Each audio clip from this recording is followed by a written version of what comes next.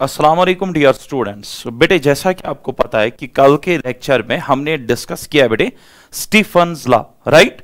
तो आज बेटा हम स्टीफन लॉ यूज़ करके निकालेंगे बेटा एक ज़बरदस्त एक एक्सप्रेशन जिसको हम बोलते हैं बेटा रेट ऑफ़ कूलिंग राइट तो आइए देखते हैं बेटा, सबसे पहले याद करिए स्टीफन लॉ। स्टीफन लॉ क्या था बेटे?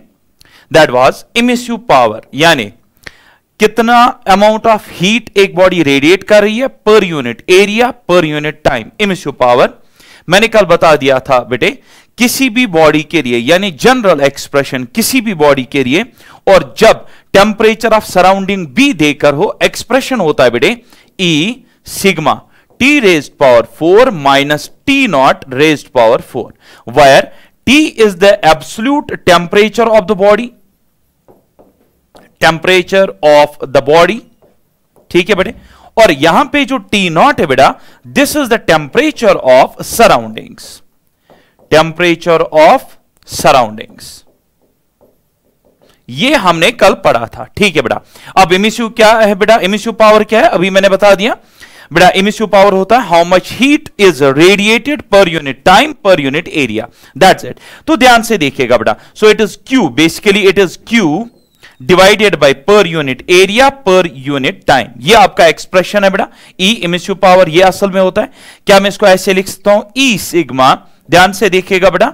T to the power four minus T naught to the power four ठीक है? ये मैंने बता दिया था। अब ध्यान से देखिए बेटा। यहाँ पे मैं एक काम कर, करूँगा। ए और टी जो है बेटा यानी एरिया और टाइम ऊपर लाऊँगा बेटे। तो यहाँ पे ये मल्टीप्लीकेशन हो में आ जाएँगे विद ई एंड सिग्मा तो आपका यहाँ से आ जाएगा बेटा क्यू यहाँ से आ जाएगा बेटा Q is equal to A और T इधर आएँगे बेटा। A T it is e sigma it is now T to the power four minus T naught raised power four ये है बेटा। ठीक है। अब ध्यान से देखिएगा। ये है बेटा हीट कितनी रेडिएट हुई? ध्यान से सुनिएगा। अब जो ये रे, ये जो बेटा हीट है जो रेडिएट हो रही है जो लॉस हो रही है एक बॉडी से बेटा इसकी वजह से क्या होगा बेटा? क्या बॉडी का टेम्परेचर इसकी वजह से कम हो जाएगा या बॉडी की स्टेट चेंज हो हो जाएगी। सो डेफिनेटली बेटा, जब एक बॉडी रेडिएट हीट करेगी हीट एनर्जी रेडिएट करेगी तो फ़र्क आएगा उसके टेम्परेचर में, न कि उसकी स्टेट चेंज होगी। तो यहाँ पे बेटा, मैंने कैलोरीमीट्री में पढ़ा है कि Q का एक्सप्रेशन जो है, या तो Q is equal to m s del T use करें, या तो एम एल एम एल कब जब स्टेट में change m s del T कब जब बेटा टेम्परेचर में चेंज सो आई थिंक यहाँ पे, क्योंकि जो हीट रेडिएट हो रही है, उसकी वजह से टेम्परेचर में चेंज आ रहा है। I can replace this Q by m s del T है ना बेटे? मैं इसको रिप्लेस कर सकता हूँ एम एस डेल टी तो इसको मैं इस तरीके से लिख सकता हूँ। A T e sigma T to the power four minus T naught raise power four अब last the final step is ध्यान से देखिएगा क्या है बेटे? What is this del T del T is change in temperature right मैं बेटा mention करूँगा what is del T change in change in temperature है ना बेटे? This is change in temperature तो बेटे, इस डेल टी को मैं यहीं पे रख देता हूँ। और यहाँ से जो ये टी है दैट मीन्स टाइम इसको नीचे लाता हूँ बेटे। So it is change in temperature per unit time ये टी मैंने वापस लाया बेटे। और ये जो एम एस है बेटा, ये इधर लाइए तो इसको डिवाइड होने वाला है। तो बेटा, आपका फाइनल एक्सप्रेशन आ जाएगा A e what's e emissivity T तो मैंने नीचे लाया सिग्मा स्टीफन कांस्टेंट आएगा ये T to the power four minus T naught to the power four और नीचे यहाँ पे आ जाएगा बेटा एम एस राइट ये जो एक्सप्रेशन आपके सामने है, अब क्वेश्चन ये ये हमें क्या दे रहा है? तो बेटे ध्यान से देखिए del T is change in temperature per unit time so change in temperature per unit time को ही हम कहते हैं बेटा रेट ऑफ़ कूलिंग तो बेटा, ये जो आपके पास ये टर्म यहाँ पे this is known as rate of cooling कितनी जल्दी एक बॉडी जो है बेटा कूल डाउन होती है that is del T upon T किसके बराबर होता है? A sigma divided m s T to the power four minus T naught raise power four ठीक है? तो बेटा, आपने निकाला स्टीफन लॉ से क्या निकाला आपने बेटा? आपने निकाला rate of cooling rate of cooling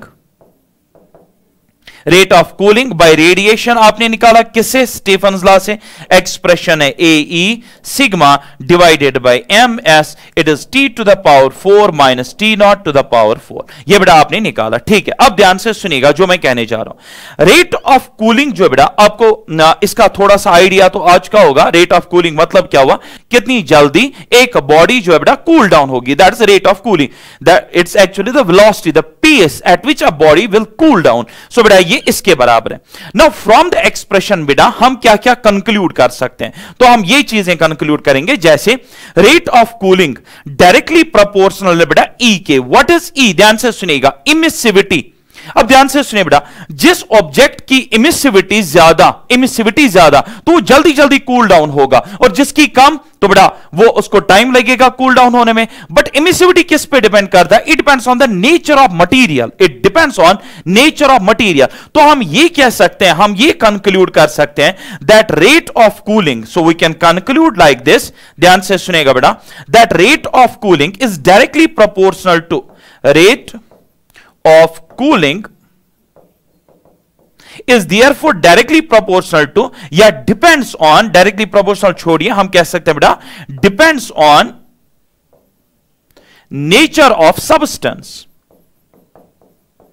nature of substance जो मैं यहाँ पे पॉइंट्स लिख रहा हूँ बेटा, एक पॉइंट एंट्रेंस का एक क्वेश्चन बनता है। ध्यान से सुनेगा और इसको दिमाग में रखिए। तो पहली चीज़, क्या रेट ऑफ़ कूलिंग डिपेंड करेगी कि मटेरियल कैसा है? बिल्कुल डिपेंड करेगा। क्यों? इमिसिविटी है बेटा। इमिसिविटी कैरेक्टरिस्टिक है बेटा मटेरियल की। ठीक है? दूसरी चीज़ रेट ऑफ़ कूलिंग किस पे डिपेंड कर रहा है? It also depends on a area area of the surface area of the object so rate of cooling यहाँ पे मैं लिख दूँगा बेटा rate of cooling also depends on depends on area surface area अब बेटा इसको समझना है, ध्यान से सुनेगा।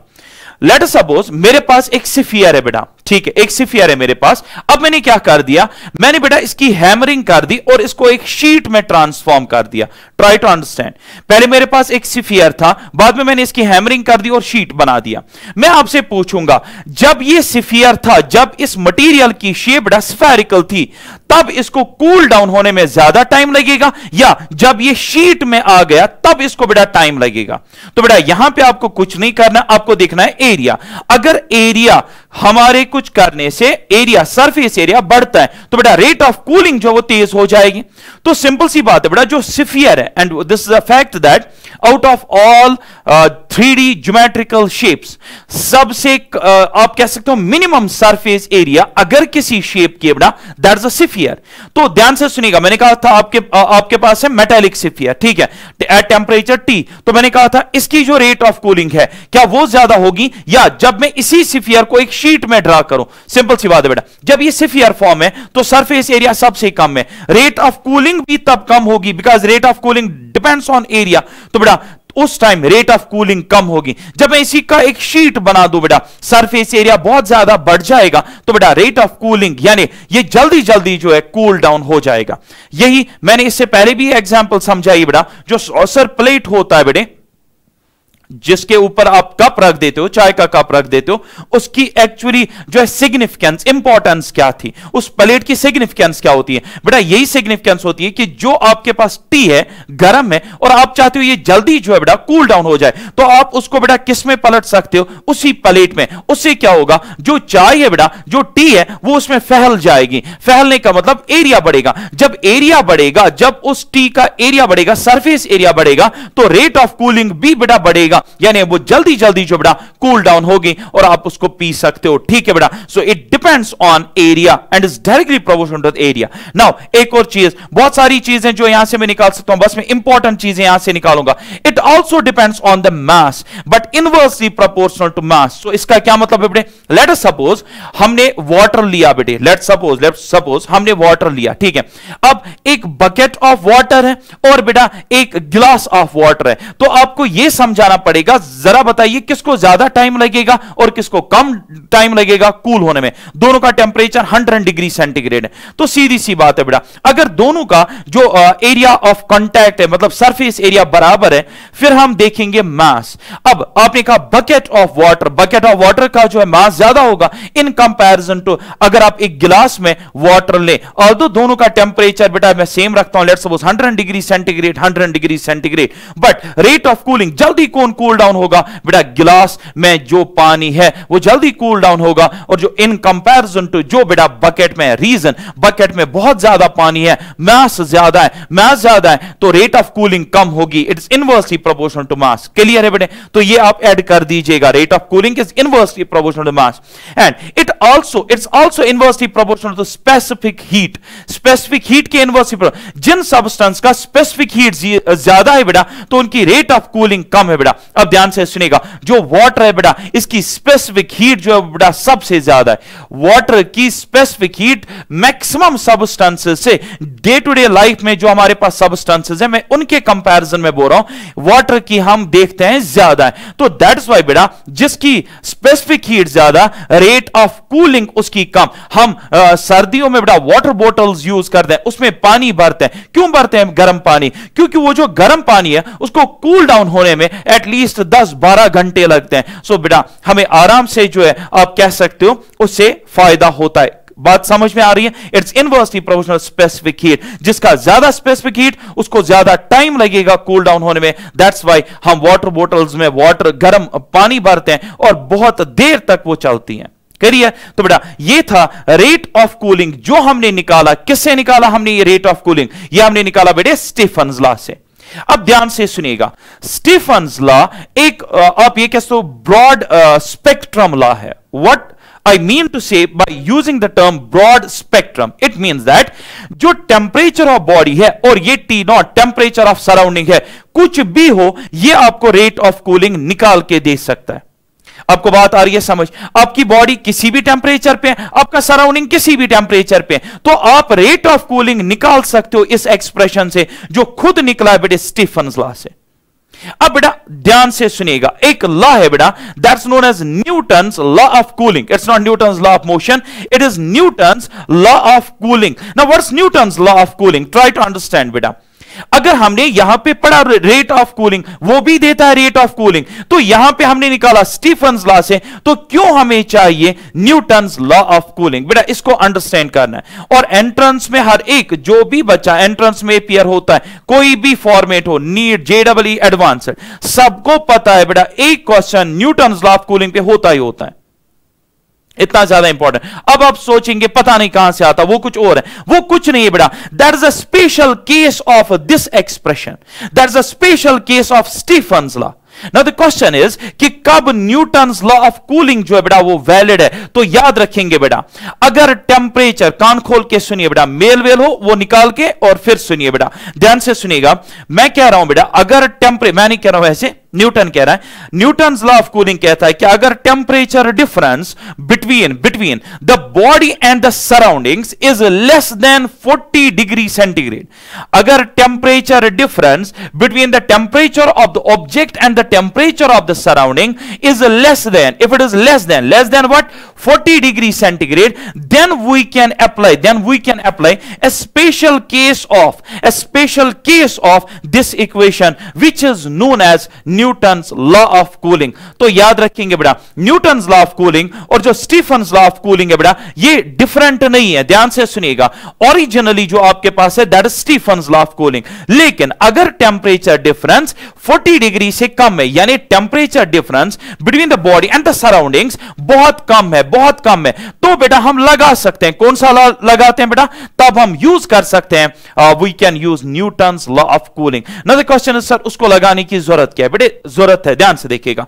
यहाँ पे टेम्परेचर का कौन सा पावर इन्वॉल्व हो रहा है? फोर्थ पावर तो ये हेक्टिक हो जाता है सॉल्व करने में। जबकि न्यूटन लॉ ऑफ़ कूलिंग उन न्यूमेरिकल्स को बेटा प्रिसाइजली हम एक्यूरेटली तो नहीं कह सकते कि 100 परसेंट आपका आंसर वहाँ से सही मिलेगा। लेकिन जो वहाँ से मिलता है, हम उसको एग्जैक्ट मान सकते हैं, मान सकते हैं। अप्रोक्सीमेट ही निकलता है but we can take that approximate as exact तो बेटा उसमें क्या इन्वॉल्व होता है? उसमें fourth power of temperature involve नहीं होता है। उसमें यूज़ होता है बेटे लीनियर पावर ऑफ़ टेम्परेचर ध्यान से सुनिएगा बेटा। तो आइए चलते हैं डायरेक्टली अब न्यूटन लॉ ऑफ़ कूलिंग पे। ध्यान से देखिएगा बेटा।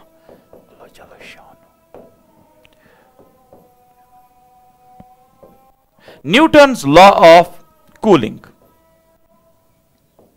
sorry बेटे।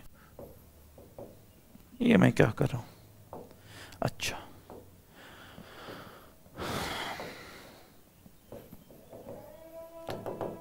I am still not use to this board ठीक है बेटा? थोड़ा सा टाइम लगेगा।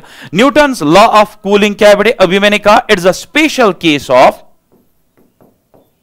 special case of Stefan law of cooling of Stefan law of cooling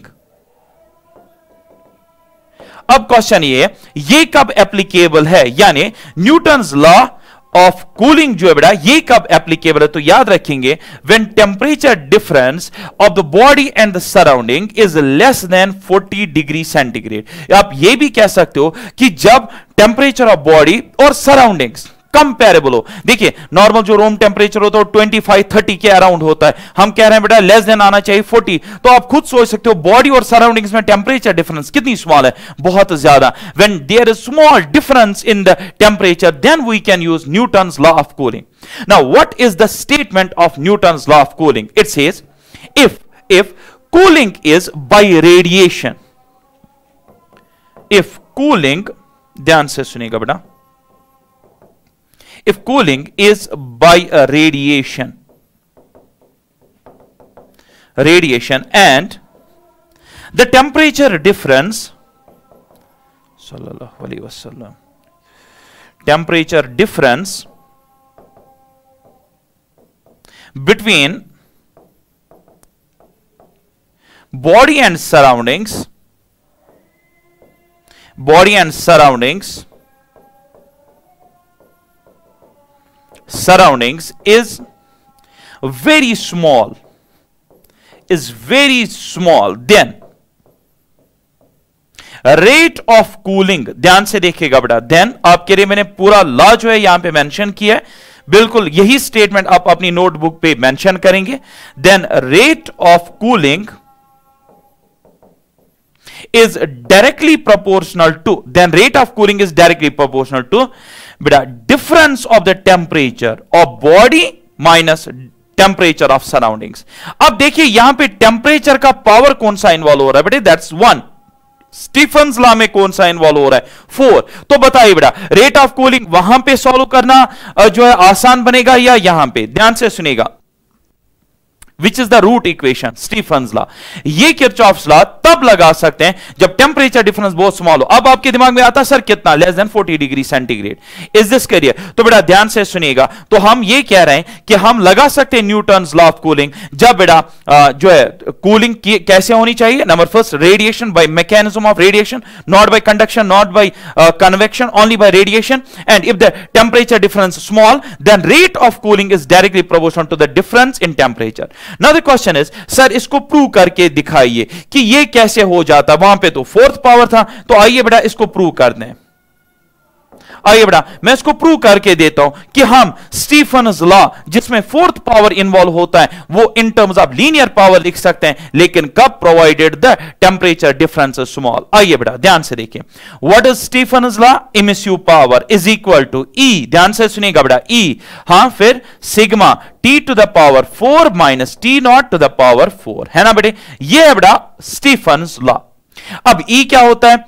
मैंने बता दिया amount of heat radiated per unit time per unit per unit area तो मैं लिख सकता हूँ इसको। I can write it like this it is D Q date so small amount of heat जो है बाहर जा रहे हैं D Q per unit area D per unit time D T मैं इसको ऐसे लिखूँगा स्मॉल ठीक है? It is equal to E sigma T to the power four minus T not to the power four मैं ऐसे लिख सकता हूँ। अब ध्यान से सुनिएगा बेटा।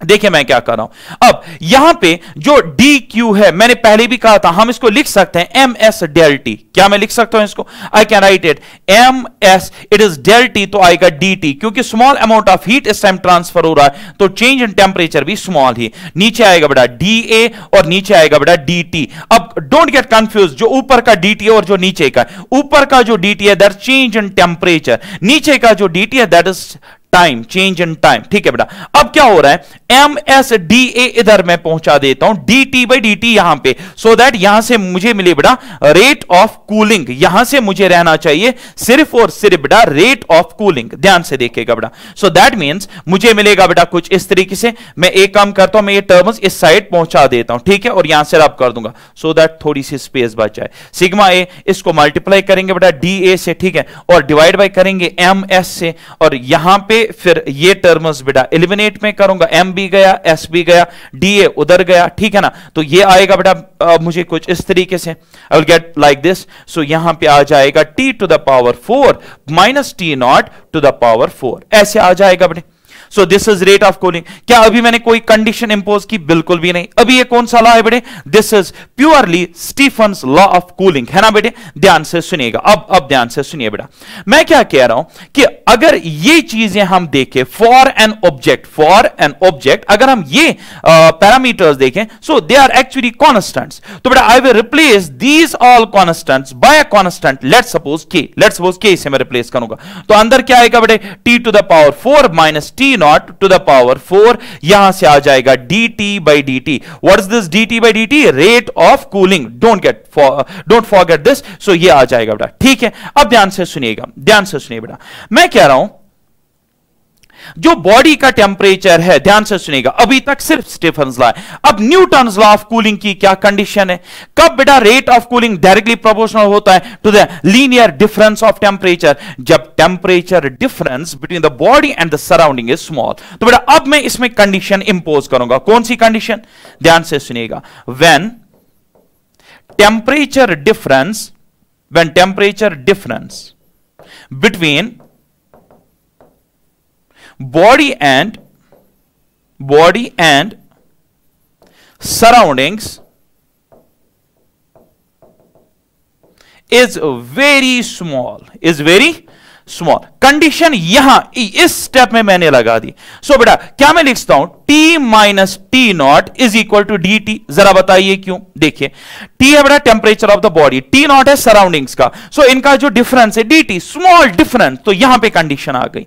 तो बेटा मुझे बताइए ये टी फिर किसके बराबर है? जरा देखिए ये टी फिर किसके बराबर I can write this T S D T plus T आ जाएगा प्लस टी नॉट आ जाएगा. So I can replace here this T by D T plus T not right तो बेटा, आइए यहाँ पे इंसर्ट कर दीजिए, देखिए क्या मिलेगा. So I will get the expression in this form D T upon D T it is equal ये डेरिवेशन आपके बोर्ड में डायरेक्टली आती है दैट्स वाई मैं ये दिखा रहा हूँ, ठीक है? इट्स इक्वल टू के ध्यान से देखिएगा. T to the power four लेकिन टी के बदले अब आएगा D T plus T not plus T not divided by divide by नहीं sorry to the power four और minus T not raise power four ये आएगा बेटे।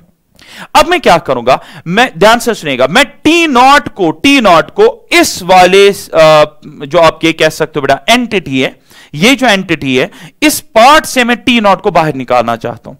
ये इसका की स्टेप रहेगा। सर कैसे निकालोगे? ध्यान से सुनेगा बेटा। अगर मैं अगर मैं D T plus T not raise power four से टी नॉट को बाहर निकालूं तो टी नॉट अकेला बाहर नहीं आएगा विद आएगा पावर फोर तो बेटा ये कुछ ऐसे आ जाएगा के यह आ जाएगा टी नॉट ये T to the power T not to the power of four बनकर बाहर आ जाएगा। But the question here is that अगर आप इसको इस तरीके से अब भी लिखेंगे, ध्यान से सुनिएगा। अगर आपने इस तरीके से अब लिख दिया तो गड़बड़ हो जाएगी। क्यों?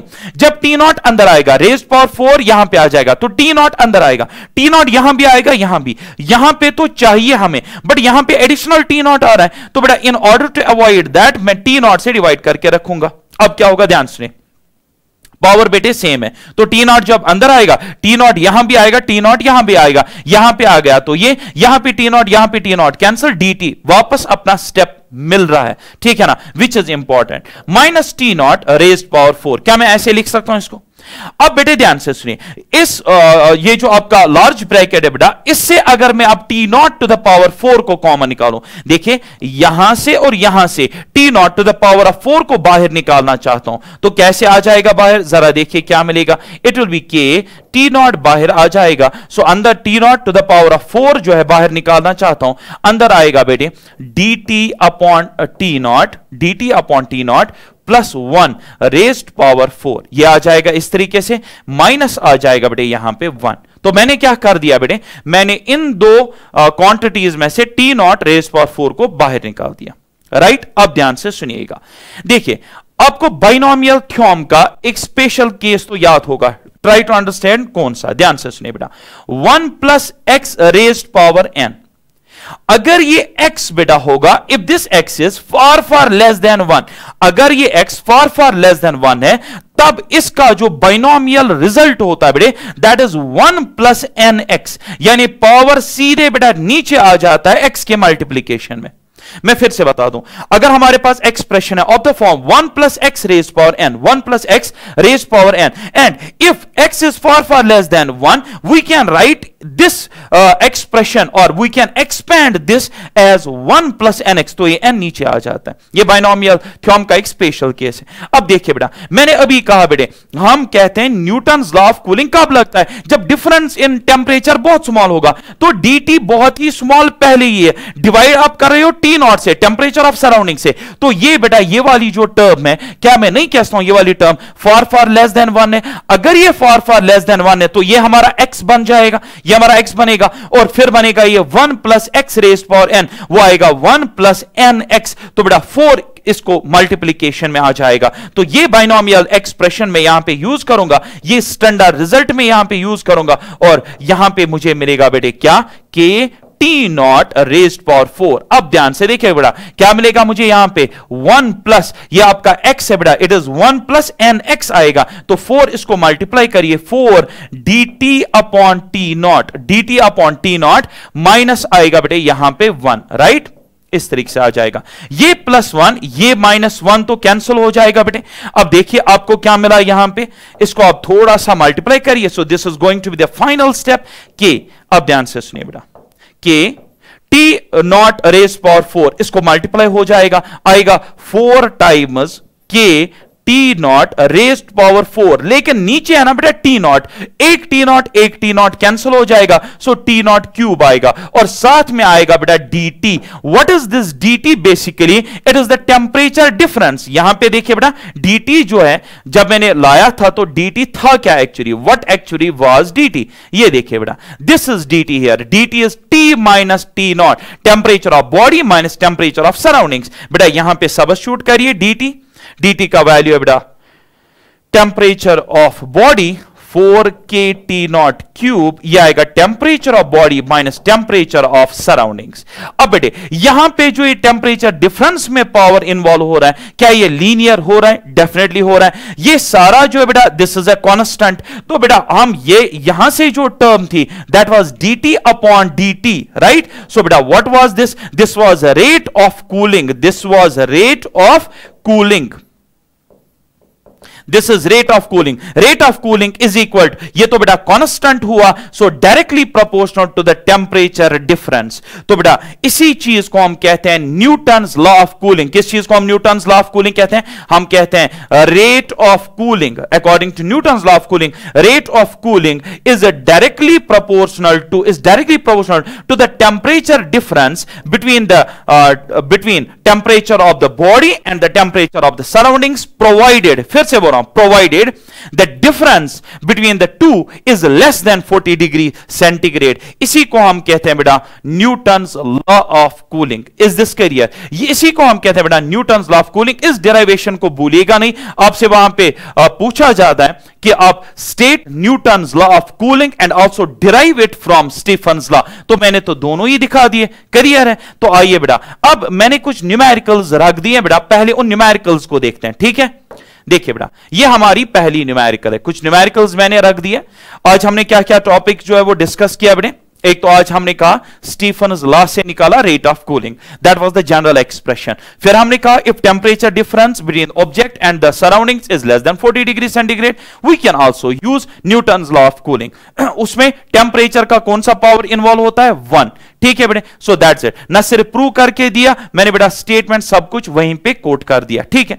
अब चलते हैं बड़े कुछ इंपॉर्टेंट न्यूमेरिकल्स पे। आइए, पहले इस न्यूमेरिकल को खत्म करते हैं।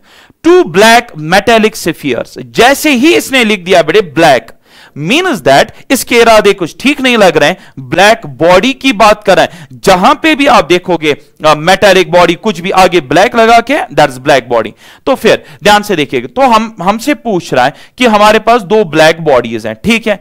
सिफियर्स हैं रादर ऑफ़ रेडियस एक की रेडियस है बेटा, चार, और एंड दूसरे की है वन बेटा। तो यहाँ पे जो रेडियस है, वो डिफरेंट है। एक की रेडियस है बेटा फोर मीटर्स एंड सेकंड की रेडियस है बेटा वन मीटर ठीक है? They are of unequal radii जो फोर मीटर वाला है that's at two thousand kelvin that's at two thousand kelvin ठीक है बेटे?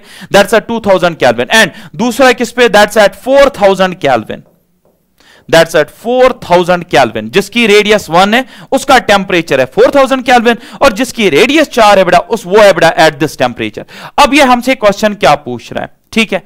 At four thousand will have the ratio of energy radiated as ये हमसे क्वेश्चन पूछ रहा है। बताइए, आप निकाल के दीजिए रेशियो ऑफ़ एनर्जी रेडिएटेड आप रेशियो निकाल के दीजिए, कितनी एनर्जी रेडिएट करेगा? This to the ratio of the energy radiated of this is this career तो देखिए बेटा, सबसे पहले हमें पता है, जरा याद करिए, कौन सा एक्सप्रेशन हमें देता है?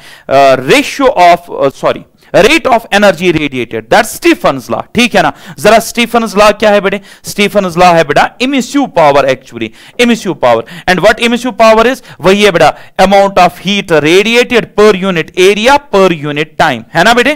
पर यूनिट टाइम ये है बेटा स्टीफन लॉ तो हमें यही निकालना हमें E one is to E two निकालना है। यानी इसका इमिस्यू पावर डिवाइडेड बाय इसका इमिस्यू पावर निकालना है। इमिस्यू पावर खुद रेट ऑफ़ जो है रेडियंट एनर्जी होता है। यानी किस रेट पे रेडियंट एनर्जी यानी जो है आपका हीट जो है वो बाहर जा रहा है per unit area per unit time it is equal it is equal to E sigma A T to the power four minus T naught raise power four यह बड़ा स्टीफन लॉ ये जो e यहाँ पे, इसकी टेंशन ही नहीं। Why black bodies दोनों है। E is equal to one है बेटा। For black body emissivity is equal to one अब ध्यान से देखिएगा। तो क्या मैं कह सकता हूँ, यहाँ पे e जो है, अब जब मैं रेशियो लूँगा E one is to E two देखिए सिग्मा दोनों के लिए सेम है। एरिया दो का डिफरेंट है। Radii different surface area different अब टेम्परेचर जो है बेटा, वो भी दोनों के लिए डिफरेंट है। वो दो बॉडीज के लिए, बेटा, यहाँ पे डिफरेंट है। But the question here is that क्या यहाँ पे सराउंडिंग्स का टेम्परेचर कहीं पे मेंशन करके नहीं? तो जब सराउंडिंग का टेम्परेचर मेंशन करके नहीं है, मैंने कल भी कहा था we can neglect this part हम इस पार्ट को नेग्लेक्ट करेंगे। सो so, बेटा, अब ध्यान से देखिएगा, जो दो सिफियर्स में डिफरेंट है that is area and their temperature तो ये दो टर्म्स बेटा, इन दो में डिफरेंट है। बाकी तो कॉमन है तो बाकी टर्म्स आप जो है, इसको तो कैंसल ही कर दीजिए, ठीक है? सराउंडिंग का है नहीं। एरिया और टेम्परेचर का आपको अकाउंट में लेना है। बाकी ये खुद ही, क्योंकि रेशियो ले रहे हैं डिलीट हो जाएगा। तो डायरेक्टली मैं आंसर लिख सकता हूँ यहाँ पे बेटे E one is to E two E one is to E two is equal तो आएगा बेटे A one T one raised power four divided by A two T two raised power four तो मैं ऐसे लिख सकता हूँ।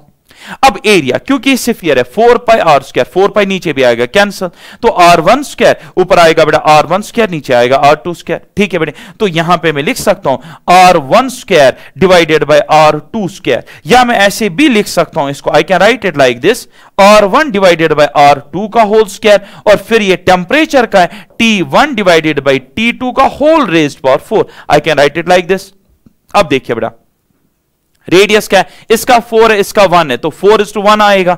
तो पहली टर्म आएगी बेटा फोर इज़ टू वन ठीक है ना? फोर इज़ टू वन ऊपर से बेटा स्क्वायर फिर।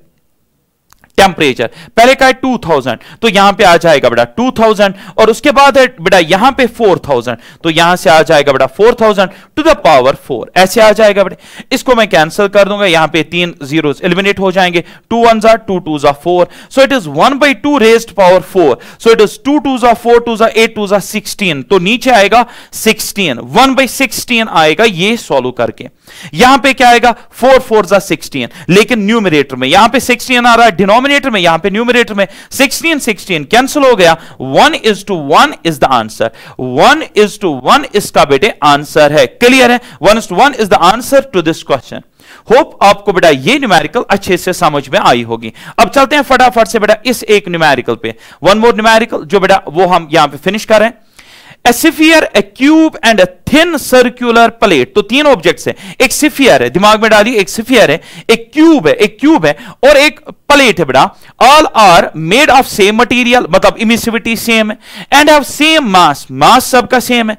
These are heated to 200 kelvin and then placed at room temperature then ध्यान से सुनिएगा बेटा। हमारे पास तीन ऑब्जेक्ट्स है। मास सबका सेम है मटेरियल सबका सेम है। तो समझ सकते हैं स्पेसिफिक हीट्स भी सेम है मासेस भी सेम है इमिसिविटी भी सेम है। बट हाँ, एक चीज़ है, इनकी शेप्स बेटा डिफरेंट है।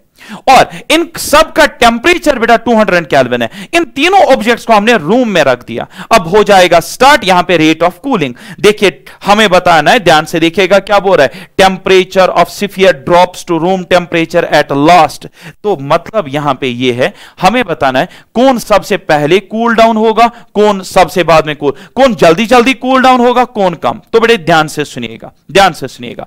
कितनी चीज़ें आपके पास? सिफियर क्यूब और circular plate out of the three या आउट ऑफ़ कुछ भी हो बना याद रखेंगे एक पॉइंट कि area surface area out of all the geometrical shapes कम होता है बेटे सिफियर का ये कॉन्सेप्ट हम यूज़ करते हैं बेटा surface tension in fluid dynamics as well but अभी उस पर नहीं जाना है तो अभी आप याद रखेंगे, एक क्वेश्चन वहाँ पे अराइज होता है रेन ड्रॉप्स क्यों बिड़ा होते हैं? स्फेरिकल तो वहाँ पे आता है यही concept to achieve the minimum surface area minimum surface area किसका है? सिफियर का. तो मुझे बताइए out of all the shapes किसका सरफेस एरिया कम है बेटा सिफियर का. अगर सिफियर का सरफेस एरिया कम है, अभी पढ़ाया था rate of cooling is directly proportional to the area तो मुझे बताइए, अगर एरिया इसका कम है तो इसका रेट ऑफ़ कूलिंग भी कम होगा. रेट ऑफ़ कूलिंग मतलब ये आराम से जो है ठंडा होगा. सो so दैट मीन सब जो है कूल डाउन हो चुके होंगे और लास्ट में ये आएगा। तो बेटा इसका ऑप्शन नंबर फ़र्स्ट ही करेक्ट है। देखिए क्या है option number first temperature of sphere drops to room temperature at last क्योंकि इसका एरिया सबसे कम है। रेट ऑफ़ कूलिंग बहुत स्लो है बेटा। तो लास्ट में जो कूल डाउन होगा, वो बेटा सिफियर ही होगा। मुझे बाकी के ऑप्शन पढ़ने की ज़रूरत ही नहीं है। क्योंकि मुझे एक फैक्ट पता है, सबसे लीस्ट सरफेस एरिया होता है सिफियर का। सो अगर सब बाकी parameter mass specific heat emissivity same है तो बेटा आपको सीधे लिखना चाहिए देखना चाहिए किसका सरफेस एरिया कम है, किसका ज़्यादा है। ठीक है बेटे? तो इस तरीके से इसका आंसर आएगा। A. This was based on rate of cooling. According to Stephen's law.